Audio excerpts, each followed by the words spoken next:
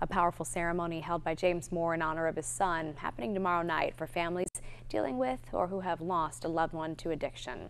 Local recovery treatment centers and the community are invited to experience words of encouragement with moving performances from USM artists. The program ends with a candle lighting service honoring the lives lost.